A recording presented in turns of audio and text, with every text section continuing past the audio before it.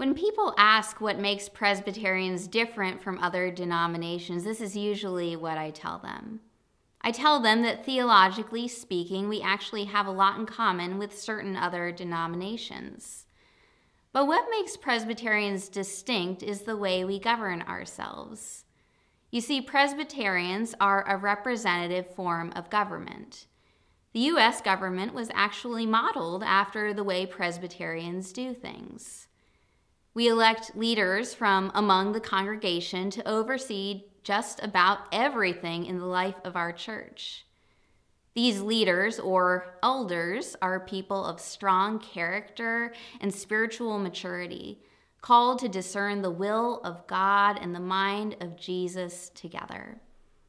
So, whereas some churches have a pope and cardinals, bishops and priests, Presbyterians work in the opposite direction. We call people from among us to serve as elders, who aren't necessarily old, by the way. And they're given responsibility for things like the worship and the educational and spiritual life of the church. So at PCM, we are governed by 18 elders who serve on what's called the session. And the session is just our Presbyterian name for the church council. And from the session, some are called to serve as commissioners to the presbytery, the regional group of churches, kind of like a diocese. Our presbytery here in this part of New Jersey is called the Presbytery of the Highlands. And some representatives from the presbytery are called every other year to be part of the General Assembly, the church's highest governing body. So instead of top down, Presbyterians work from the bottom up, ensuring that each of us has a voice as we discern God's will together.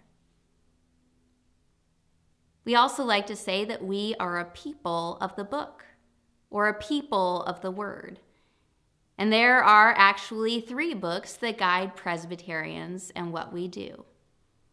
The first, of course, is the Bible.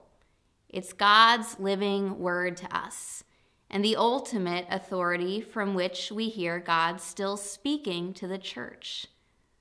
But there are also two other books that guide us as well. They make up the two parts of our Constitution. One is called the Book of Confessions, which includes 11 doctrinal statements from throughout the church's history and the other, called the Book of Order, describes how we relate with one another and how we make rules and decisions for our church. The Bible, the Book of Confessions, and the Book of Order help to shape our common life and to learn not only how God has been with us in the past, but also how God will lead us into the future.